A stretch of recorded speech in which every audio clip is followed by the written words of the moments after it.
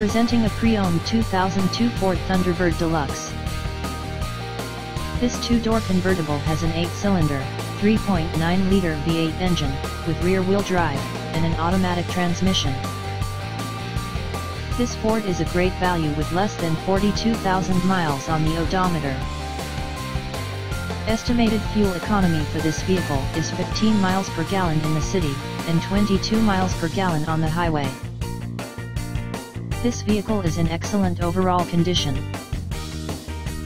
Key features include, front air conditioning, airbags, anti-lock brakes, power brakes, cruise control, power steering, power door locks, power windows, and window defogger. Thank you for visiting Net Motor Cars.